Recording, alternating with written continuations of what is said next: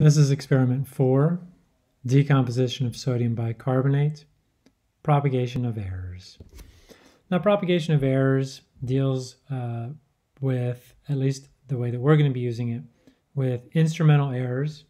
And I've done some preliminary work to show that each time you use the scale, at least that I have purchased, to um, get to uh, weigh something, that the scale has an inherent accuracy of plus or minus 0.04 grams. Now, ideally, this number comes from the owner's manual and it tells you exactly what it is. But because my scale didn't have it, I used the calibration mass of 100 grams over a series of weeks to estimate that the reproducibility of numbers was plus or minus 0.04 grams. This makes sense because this last digit, the hundredths place, there is some knowledge about what that last digit is, but some uncertainty in it as well. And so when we have five significant figures right here, we have 124.0. Those we definitely know for sure, and we have a good idea or some information at least about this last digit as reflected by plus or minus 0.04 grams. This number goes for any time we use the scale, and so we've used the scale for each of these measurements. Okay. Now, um, and so the first part of doing propagation of errors is getting the error for each of these numbers as an estimate.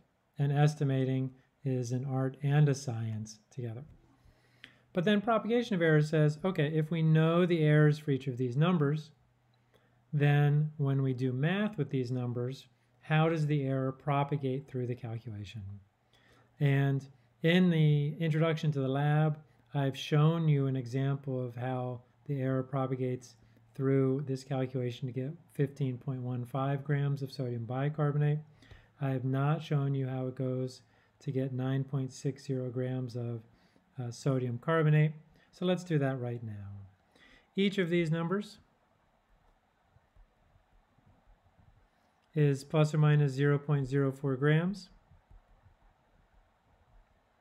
And the question is, what is the error of this number right here? So uh, as the lab states, and there is an example, uh, and it's very similar to the example for the sodium bicarbonate, but the example goes like this. The errors where the error for 9.60 is the sum of the squares of the errors. So sigma, which is the error in the number 9.60, is going to equal the error in each of these numbers. Even though it's subtraction, the errors are added. 0.04 squared plus 0.04 squared equals the error for this number. I will now uh, write that in. So 0.04 squared plus 0.04 squared.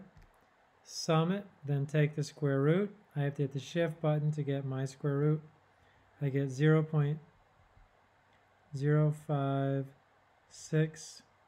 0.0566 and some more digits, but since I have 0.05, uh, I'll just keep it right there.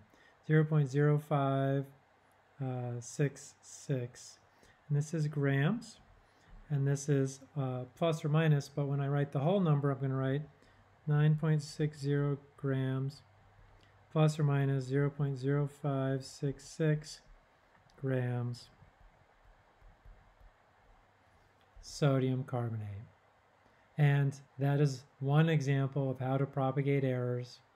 Propagating errors when you do multiplication and division is uh, different, that's for sure. There is an example in the introduction to the lab. Please ask your instructor if you have any questions about it, but also please mirror your work after the type of work that's done in the introduction to the lab.